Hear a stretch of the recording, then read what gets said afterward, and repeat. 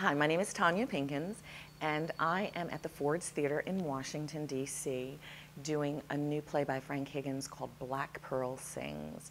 And I hope you'll come and, and join us there. It's a, an amazing story. It's the first play I've been excited to do since Caroline or Change. It's a two-hander, and I'm working with Erika Rolfsrud uh, about a Texas woman in 1935 and a Gullah woman who is in prison, and they meet in a prison and explore the history of each other's lives and cultures through the folk songs that have been passed on generation to generation.